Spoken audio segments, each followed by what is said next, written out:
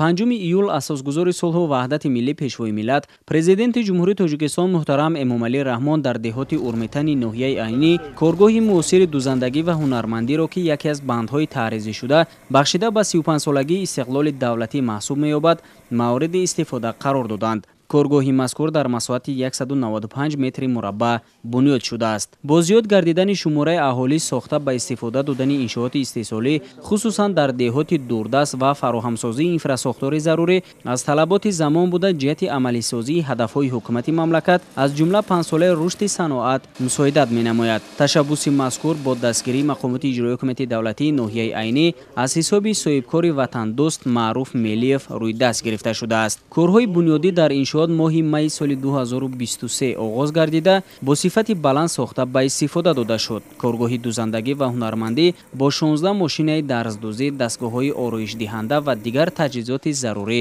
муҷаҳҳаз мебошад. Мо соҳибкорон миннатдории худро ба пешвои муаззами миллат ҷаноби олии муҳтарам эмомалӣ раҳмон мерасонем.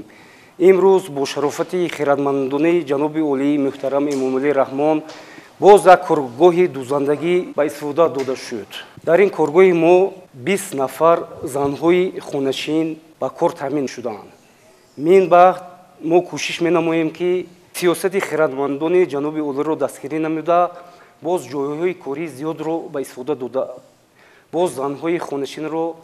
ба кор таъмин намоем ба сарвари давлат муҳтарам эмомалӣ раҳмон иттилоъ дода шуд ки бо ба истифода додани ин коргоҳ бист нафар ҷавондухтарону бонувони маҳаллӣ бо ҷойи кор ва маоши хуб таъмин гардида ҳамчунин ҷиҳати соҳибкасб гардидани хоҳишмандон шароити мусоиди корӣ фароҳам оварда шудааст президенти мамлакат муҳтарам эмомалӣ раҳмон зимни шиносоӣ бо шароити корӣ ва суҳбат бо чеварон ба сифати корҳои анҷомёфта баҳои баланд дода ҳиммати ҷавонмардонаи соҳибкорро дар самти дастгирӣ ва ҳамоҳангӣ аз ташаббусҳои созандаи ҳукумати мамлакат неку муассир арзёбӣ карданд. Дар коргоҳи дузандагӣ ва ҳунармандӣ либосҳои ягонаи мактабӣ тиббӣ номгӯи гуногуни либосҳои занонаву мардона либосҳои арӯсиву ҷашнӣ ва ҷиҳозҳои хона барои манзили зисту корхонаҳо мувофиқи дархости мизоҷон омода мегардад. Аҳли деҳоти урметани ноҳияи айнӣ аз ҳисоби занону бонувони соҳибҳунару боистеъдод ҷиҳати рушд ва ҳифзу эҳёи ҳунарҳои мардумӣ ҳамеша даст ба кор буда.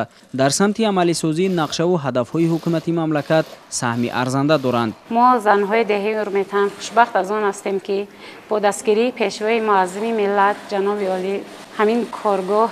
кушода шуд мо занҳои хонашин соҳиби ҷои кори доимӣ гаштем миннатдории худро ба ҷаноби олӣ баён менамоем дар ин корхона мо либосҳои мактабӣ тиббӣ ва мувофиқи фармоиши мизоҷон либосҳо духта пешниҳод менамоем дар ин ҷо мо боз имконият дорем ки